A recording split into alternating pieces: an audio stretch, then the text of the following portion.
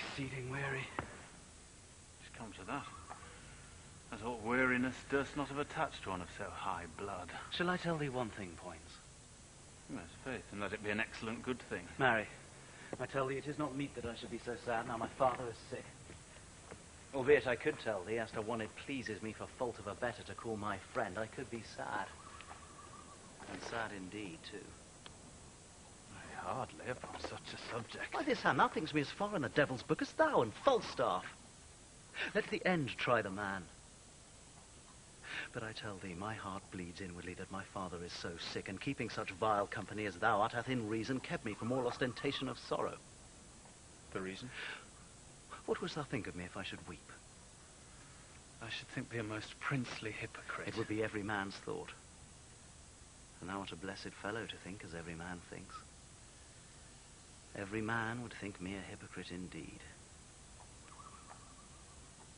And what excites your most worshipful thought to think so? Why, because you've been so lewd, so much engraft to Falstaff. And to thee.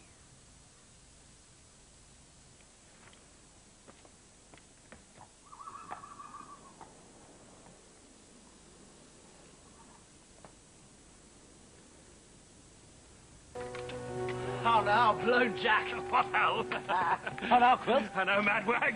Oh, oh. My good Lord of Lancaster, I cry mercy. But tell me, Jack, whose fellows are these that come after? Mine, Hal. I never did see such pitiful rascals. Oh, stop, stop. Good not to toss. Food for powder. Food for powder. Well, they fill a pit as well as better. Mortal man. Mortal man. How bloodily the sun begins to peer above yon bulky hill. Day looks pale at his distemperature. The southern wind doth play the trumpet to his purposes, and by his hollow whistling in the leaves foretells a tempest and a blustering day. Then with the losers, let it sympathize, for nothing can seem foul to those that win. How now, my lord of Worcester? It is not well that you and I should meet upon such terms as now we meet. You have deceived our trust, and made us doff our easy robes of peace to crush our old limbs in ungentle steel. This is not well, my lord, this is not well. Hear me, my liege. For mine own part, I could be well content to entertain the lag end of my life with quiet hours, but I protest I have not sought the day of this dislike. Ah, you have not sought it. How comes it then? Rebellion in his way, and he found it. Peace to it! Peace! In both your armies there is many a soul shall pay full dearly for this encounter if once they join in trial. Tell your nephew, the Prince of Wales doth join with all the world in praise of Harry Percy. By my hopes, this present enterprise set off his head, I do not think a braver gentleman. More active, valiant, or more valiant young, more daring, or more bold is now alive to grace this latter age with noble deeds. For my part, I may speak it to my shame, I have a truant been to chivalry, and so I hear he doth account me too, yet this before my father's majesty. I am content that he shall take the odds of his great name and estimation, and will, to save the blood on either side, try fortune with him in a single fight. And Prince of Wales, so dare we venture the, albeit considerations infinite, do make against it. No, good Worcester, no. We love our people, well, even those we love that are misled upon your nephew's part. And will they take the offer of our grace? Both he and they and you, yea, every man shall be my friend again, and I'll be his. So tell your nephew, and bring me word what he will do. But if he will not yield, rebuke, and dread correction wait on us, and they shall do their office, so be gone. We will not now be troubled with reply. We offer fair. Take it advisedly. It will not be accepted on my life. Hence, there for every leader to his charge. For on their answer will we set on them, and God befriend us as our cause is just. Hal, if they see me down in the battle, bestride me so. 'Tis a point of friendship. Nothing but a colossus can do thee that, friendship. Say thy prayers and farewell. I would to a bedtime hour. And oh well, Why? Thou owest God a debt. 'tis not due yet. I be loath to pay him before his day. What need I be so forward with him that calls not on me? Still, honor pricks me on.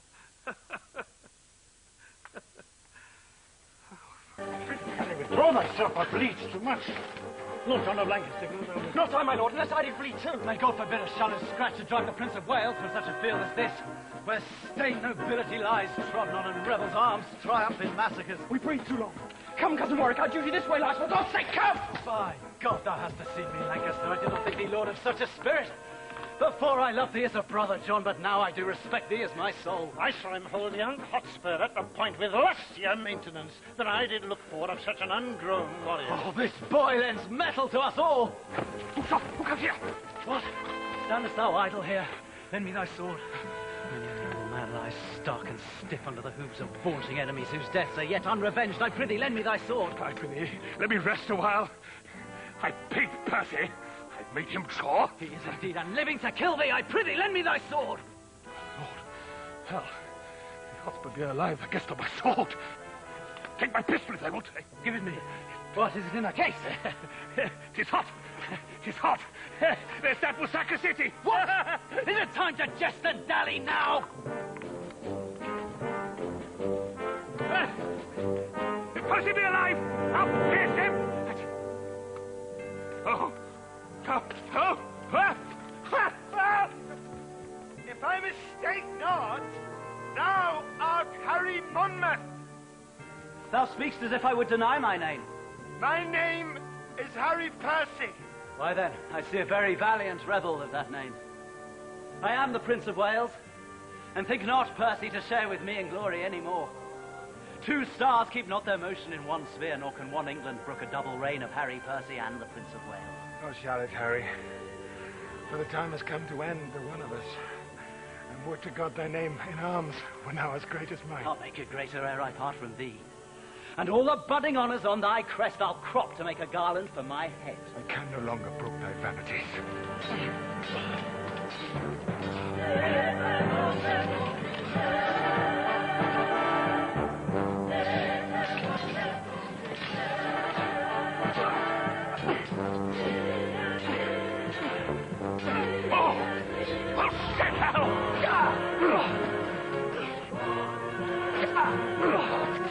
Oh, shit, hell! Hurry, hell! Hey, you shall find no boys play here, I can tell you. Oh! Thou hast robbed me of my youth.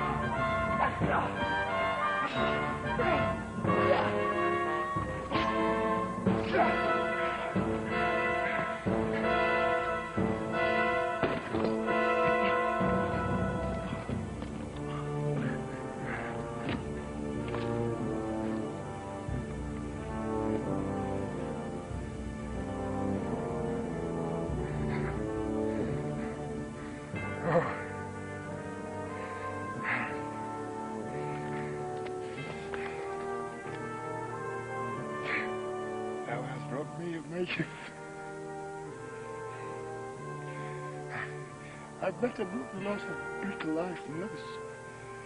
Proud titles thou hast. May they wound my thoughts worse than thy sword, my flesh. Ah, but thoughts, the slaves of life and life. Time's fool, and time that takes survey of all the world must ever stop.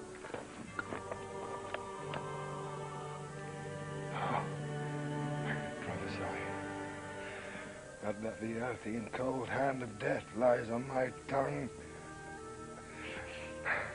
No, Percy.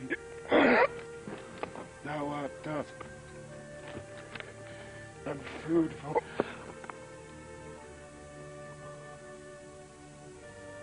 For worms, brave Percy. Thee well, great heart. Ill-weaved ambition, how much art thou shrunk? And that this body did contain a spirit, a kingdom, for it was too small a bound, but now two paces of the vilest earth is room enough.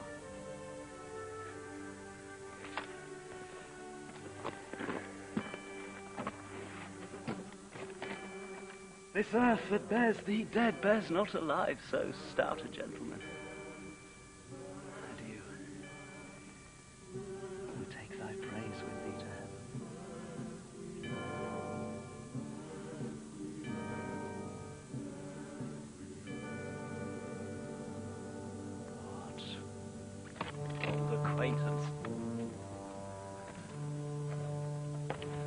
Could not all this flesh keep in a little life? Poor Jack, farewell.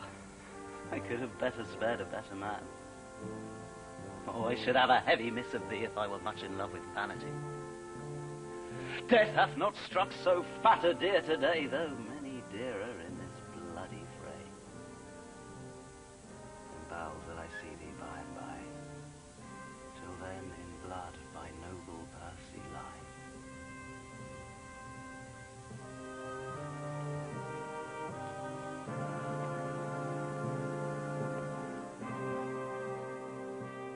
And bow! Come, Brother John. Full bravely hast thou fleshed thy maiden sword. Who have we here? Is thou- sorry, this fat man was dead. I did. I saw him dead, breathless and bleeding on the ground. Art thou alive? Or is it fantasy that plays upon our eyesight? I prithee speak, we will not trust our eyes without our ears. Thou art not what thou seemst. Nay, that's certain. I am not a double man. But if I be not Jack Falstaff, I am a Jack. Yes, Percy. If your father would do me the honor, so. If not, let him kill the next Percy himself. So, I look to be either Earl or Duke, I can assure you. Why, Percy, I killed myself and saw thee dead. Catch thou! Cha! Lord, Lord, how this world is given to lying. I grant you, I was down and out of breath, and so was he. But we rose, both, in an instant, and fought a long hour by Salisbury clock. I take it upon my death. I gave him this wound in the thigh. And if the man were alive and would deny it, I'd make him eat a piece of my soul. This is the strangest tale I've ever heard. This is the strangest fellow, Brother John. Come, bring your luggage nobly on your back. For my part, if a lie may do thee grace, I'll gild it with the happiest terms I have. The trumpet sounds retreat. The day is ours. Come, brother, let us to the highest of the field and see what friends are living. Who are dead. Thus ever did rebellion find rebuke. Ill-spirited Worcester. Did we not send grace, pardon, and terms of love to all of you? And wouldst thou turn our offers contrary, misuse the tenor of thy kinsman's trusts? Three knights upon our party, slain today, a noble earl and many a creature else, had been alive this hour, if like a Christian thou hadst truly borne betwixt our armies true intelligence. What I have done, my safety urged me to. And I embrace this fortune patiently. Although we, we here fall down, we have supplies shall second our attempt. If they miscarry, theirs shall second them. And so success of mischief shall be born. And heir from heir shall hold this quarrel up, whilst England shall have generation. You're too shallow, Worcester. Much too shallow to sound the bottom of the after times. Bear Worcester to the death. Dan Vernon, too. Other offenders we will pause upon. I should rejoice now at this happy day. Now my sight fails and my brain is giddy. Umi, come near me now. I'm much ill. Comfort your majesty. Oh, my royal father! Be patient, princes. You do know these fits are with his highness, very ordinary. Stand from him, give him air. He'll straight be well.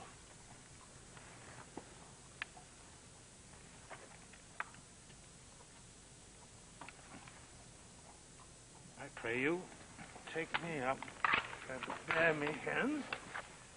And then dispatch we toward the court, my lords.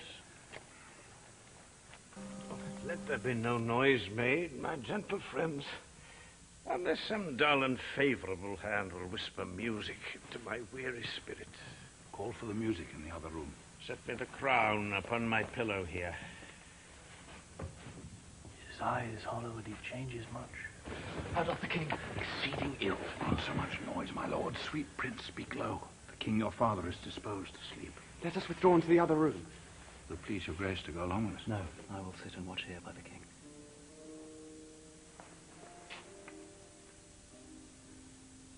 Why doth the crown lie there upon his pillow, being so troublesome a bedfellow? Polished perturbation, golden care that keeps the ports of slumber open wide to many a watchful night. Sleep with it now. Yet not so sound and half so deeply sweet as he whose brow with homely biggin bounds snores out the watch of night. O majesty, when thou dost pinch thy bearer, thou dost sit like a rich armour worn in heat of day that scald'st with safety. By his gates of breath there lies a downy feather which stirs not. Did he suspire that light and weightless down perforce must move? My gracious lord. My father. This sleep is sound indeed. This is a sleep that from this golden rigol hath divorced so many English kings. Thy due from me is tears and heavy sorrows of the blood, which nature, love, and filial tenderness shall, O dear father, pay thee plenteously. My due from thee is this imperial crown, which as immediate from thy place and blood derives itself to me.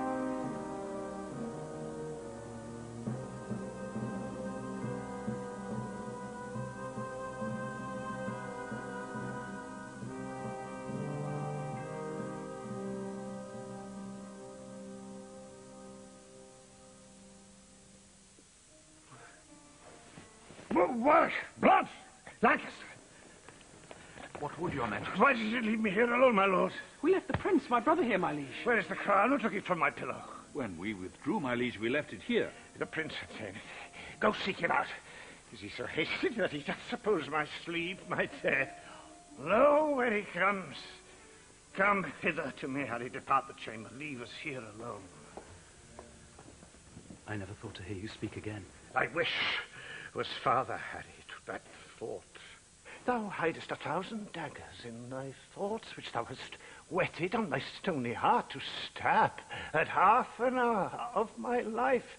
But canst thou not forbear me half an hour, then get thee gone and dig my grave thyself, and bid the merry bells ring to thine ears. Harry the Fifth is crowned. Up, vanity! Down, royal state! All you sage counsellors, hence! And to the English court assembled now from every region, apes of idleness. Now, neighbour confines, purge you of your scum. Have you a ruffian who will swear, drink, dance, revel the night, rob, murder, commit the oldest sins, the newest kinds of ways? Be happy. He will trouble you no more. England shall give him office, honour, might. For the fifth Harry from curved license plucks the muzzle of restraint, and the wild dog shall flesh his tooth on every innocent. Ah, my poor kingdom, sick with civil blows. Oh, thou wilt be a wilderness again, peopled with wolves, thy old inhabitant. Oh, pardon me, my liege. There is your crown. And he that wears the crown immortally, long guard it yours. But when I here came in and found no cause of breath within your majesty, how cold it struck my heart. Coming to look on you, thinking you dead, and dead almost, my liege, to think you were, I spake unto this crown as having sense, and thus upbraided it. The care on thee depending hath fed upon the body of my father. Therefore thou best of gold art worse than gold. Accusing it. I put it on my head to try with it as with an enemy that hath before my face murdered my father. God, put it in thy mind to take it hence that thou mightst win them all thy father's love, pleading so wisely in excuse. Come hither. Sit thou by my side, and hear, I think, the latest counsel that ever I shall breathe. God knows, my son, by what by paths and indirect crooked ways I met this crown. I myself know well how troublesome it's upon my head. To be. it shall descend. Better quiet, better opinion, better confirmation. For all the soil of the achievement goes with me into thee. How I came by the crown, oh God, forgive and grant. It may with thee, in true peace, live.